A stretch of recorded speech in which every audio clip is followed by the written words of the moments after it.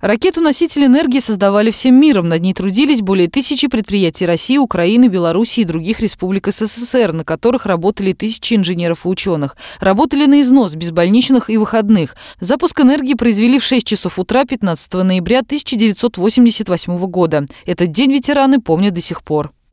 Открываются ворота, на рельсы все традиционно положили пятаки свои монеты для того, чтобы они были раздавлены этой громадиной. В результате получили экспонаты, у каждого мы храним до сих пор. Это расплющенные напрочь эти монеты. Аналогов энергии в мировом ракетостроении нет по сей день. Стартовая масса ракеты 2400 тонн. Она вывела на орбиту корабль «Буран». В создании энергии участвовали все работники завода «Прогресс». Под глобальный новый проект завод выполнил техническое перевооружение производства, внедрил уникальные технологии. Помню, как ну, приподнятое буквально настроение, как новость разлетелась буквально среди студенчества, и люди поздравляли друг друга. Я искренне рад, что вот такая гордость за свою малую родину сохранилась в сердцах самарцев и по сей день.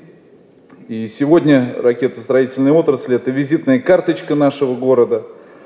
Город остается, наверное, самым космическим городом страны.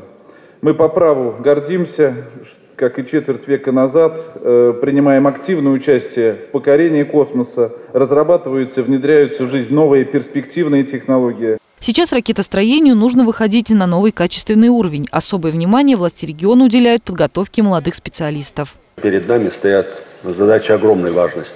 Мы для этого пытаемся сделать все, чтобы поддержать и помочь университету с ГАУ, что надо готовить новых специалистов с новым мышлением.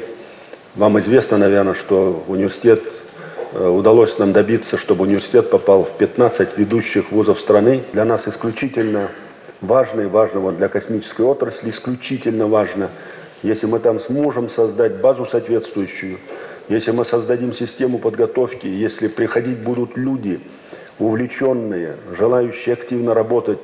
Об успехе ракеты-носителя энергии «Буран» знал весь мир, но главной победы ЦСКБ «Прогресс» еще впереди. Самарские разработчики готовы и дальше покорять просторы космоса. Сейчас уже ведется активная работа над проектом ракеты супертяжелого класса. Лариса Шалафаст, Артем Сулайманов. События.